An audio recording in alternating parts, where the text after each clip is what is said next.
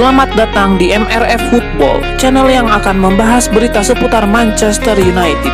Jika kalian suka berita Manchester United dari kami, jangan lupa like, komen, dan subscribe. Dan juga nyalakan tombol loncengnya, agar kalian bisa tahu berita Man United terupdate dari kami.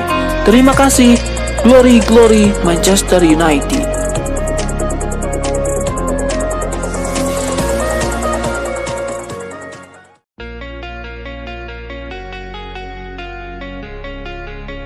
Manchester United kembali dihubungkan dengan Paulo Dybala. Menurut laporan dari Calcio Mercato, Dybala masuk radar setan merah di tengah ketidakpastian mengenai situasi kontraknya di AS Roma. Paulo Dybala bergabung dengan AS Roma sebagai pemain bebas transfer pada musim panas 2022. Dia menandatangani kontrak 3 musim dengan gaji 6 juta euro per tahun plus bonus. Ketika kontrak tersebut ditandatangani, ada pemahaman bahwa persyaratan finansial akan ditingkatkan seiring waktu. Namun dengan sisa satu tahun pada kontraknya, peningkatan tersebut belum terwujud. Manchester United telah lama mengincar Dybala ketertarikan mereka bermula lima tahun yang lalu ketika Dybala menolak kesempatan bergabung sebagai bagian dari kesepakatan pertukaran yang melibatkan Romelu Lukaku ke Juventus. Kini dengan situasi kontraknya yang belum pasti, MU melihat peluang emas untuk kembali coba meminang sang pemain. Dengan mengaktifkan klausul pembelian di Bala, MU menambah kekuatan lini serang tim. Di Bala memiliki kemampuan teknis tinggi, visi permainan brilian, dan pengalaman segudang bermain di level utama. Namun transfer ini tidak tanpa tantangan. Roma tentu tidak akan mudah melepaskan salah satu pemain terbaik mereka. Selain itu, Dybala mungkin memerlukan waktu untuk beradaptasi dengan intensitas dan gaya permainan Liga Inggris yang berbeda dengan Serie A. Meskipun demikian, potensi kehadiran Dybala di Old Trafford akan memberikan dorongan besar bagi skuad Erik Ten Hag.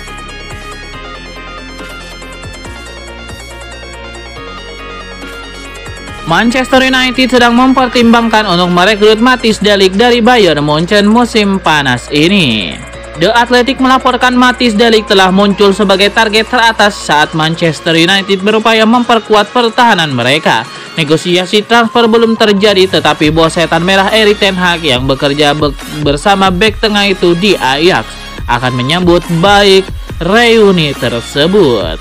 Setelah Rafael Varane pergi sebagai agen bebas, United membutuhkan kekuatan baru di posisi bek tengah, terutama dengan Harry Maguire dan Lisandro Martinez yang akan absen di banyak laga musim lalu karena cedera. Laporan tersebut menambahkan Matis Delik akan menjadi rekrutan musim panas yang lebih realistis dibandingkan Jared White dari Everton yang bisa menelan biaya lebih dari 70 juta pound sterling. Pemain internasional Belanda tersebut memulai karirnya di Ajax sebelum pindah ke Juventus pada tahun 2019. Setelah tiga tahun di tim Liga Italia, Delic pindah ke Bayern Munchen. Dalam karirnya yang relatif singkat, ia telah memenangkan trofi bersama setiap klub yang ia wakili. Meskipun United mungkin akan melanjutkan negosiasi dalam beberapa pekan mendatang, Matis Delik saat ini berada di Jerman bersama skuad Belanda untuk Euro 2024. Namun ia berada di belakang Stefan De Vrij dan Virgil van Dijk di bawah asuhan Ronald Koeman.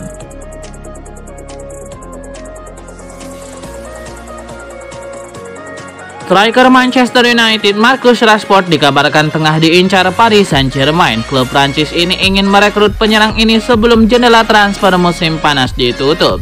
Paris Saint-Germain menghadapi tugas sulit untuk mencari pengganti Kylian Mbappe setelah Kapten Prancis itu memutuskan untuk meninggalkan Paris dengan status bebas transfer untuk bergabung dengan Real Madrid. Dikatakan Paris Saint-Germain sebagai pengagum jangka panjang Rashford.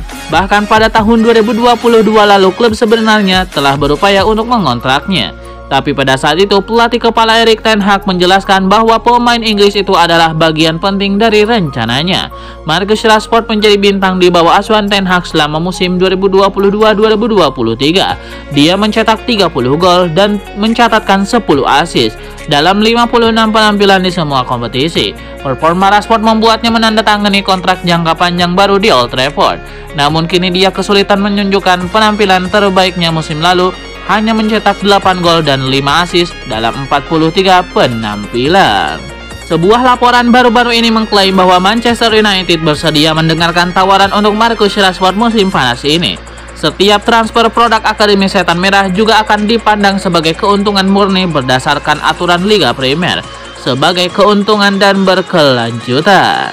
Menurut Talksport, Paris Saint-Germain sekarang sedang mempertimbangkan untuk merekrut penyerang yang tidak dimasukkan dalam kuat Inggris untuk kejuaraan Eropa musim panas ini karena kesulitannya bersama klub. Laporan tersebut mengklaim bahwa tim asuhan Luis Enrique dapat mempercepat minat mereka pada Rashford jika sang pemain memberikan sinyal bahwa ia terbuka untuk pindah ke raksasa Prancis. Ini adalah hal yang sulit bagi MU karena Rashford bisa menjadi salah satu penyerang paling mematikan di dunia sepak bola ketika dalam kondisi terbaiknya. Perubahan situasi bisa menjadi hal terbaik bagi sang penyerang musim panas ini karena ia pun menghidupkan kembali karirnya setelah musim 2023-2024 yang mengecewakan. Memang banyak hal akan bergantung pada uang yang dikeluarkan karena MU kemungkinan besar tidak akan menolak tawaran besar untuk Marcus Rashford. Tapi masih harus dilihat apakah Paris Saint-Germain menawarkan sejumlah uang yang diinginkan setan merah.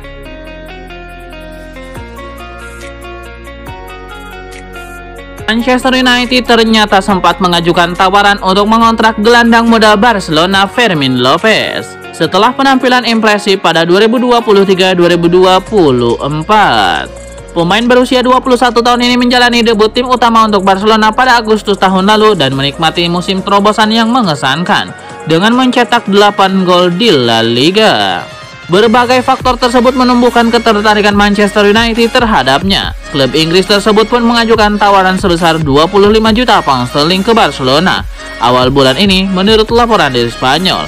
Namun Barcelona dengan tegas menolak pinangan tersebut dan menunjukkan keinginan untuk memperpanjang kontrak baru dengan Fermin Lopez. Saat ditanya tentang tawaran dari Manchester United, Fermin Lopez juga enggan mengomentari lebih lanjut. Dia menegaskan bahwa bahagia berada di Camp Nou dan ingin membela Barcelona selama mungkin.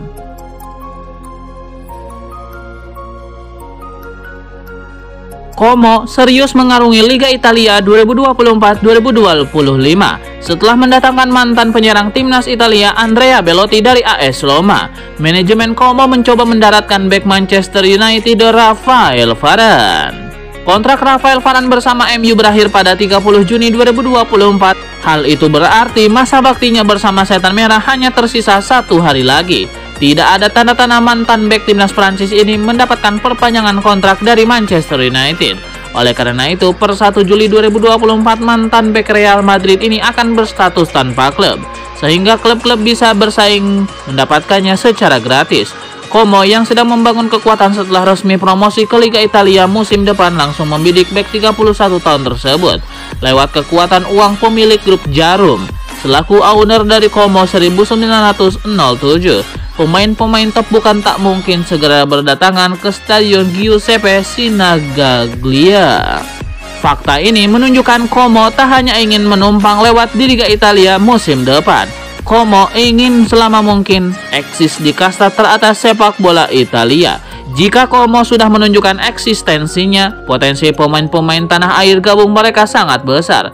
Nama-nama pemain top seperti Jay Idzes atau personil timnas Indonesia lain bukan tak mungkin bakal gabung Como suatu hari nanti.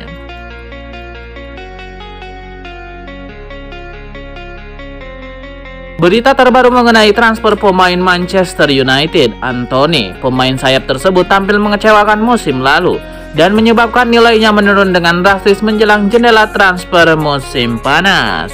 Survei yang dilakukan oleh Manchester Evening News kepada para fans Manchester United menunjukkan bahwa mayoritas fans menginginkan agar pemain sayap Anthony dijual pada musim panas ini. Hal ini bisa menjadi opsi bagi klub untuk menutup kerugian finansial. Menurut polling yang dilakukan Manchester Evening Sport pada fans dengan opsi pertahankan atau dijual hanya 12.347 dari 67,637 fans yang disurvei 18,25% yang ingin agar Anthony tetap berada di Old Trafford pada musim baru. Sisanya sebanyak 55.326 fans atau sekitar 81,75 persen menginginkan agar pemain sayap tersebut dijual pada bursa transfer saat ini. Masalah yang akan dihadapi klub jika mereka memutuskan untuk menjual adalah bagaimana cara mendapatkan kembali uang sebanyak mungkin. Anthony masih memiliki sisa kontrak 3 tahun dan belum ada klub yang dikaitkan dengan ketertarikan kepada sang pemain.